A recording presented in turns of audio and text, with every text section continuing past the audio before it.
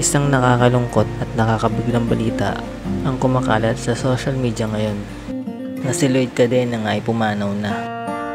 Sa edad lamang na 26, ayon mismo ito sa pamilya ng nasabing YouTube content creator o YouTube vlogger. At ayon sa doktor, si Lloyd daw ay pinaghinalaang na-expose sa COVID virus. Pero may mga rumors din na cardiac arrest ang pinaka-cause of death ni Lloyd Cadena. Sadyang pribado ang mga informasyon dahil wala pang official statement kung ano ba talaga ang sanhi ng kanyang pagkawala.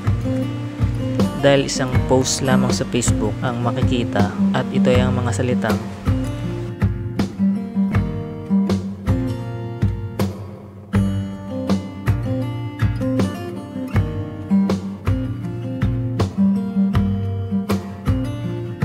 Ilan sa mga nakakakilala kay Lloyd ang nagbahagi ng saloobin sa kanilang Twitter account.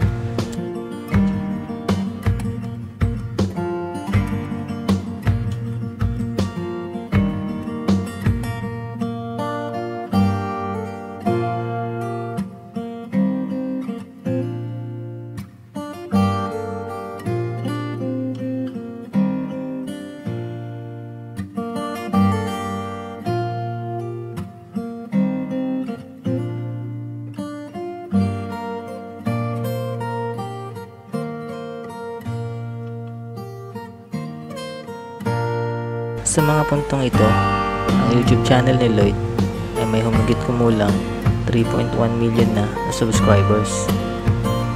At meron sana siyang halos 5 million na subscribers kung isa-summarize ang nauna niyang channel at itong kasalukuyan. Sa mga hindi nakakaalam, isa po siyang DJ sa IFM Manila. At yun lamang po muna ang maisishare natin. At salamat po sa panonood.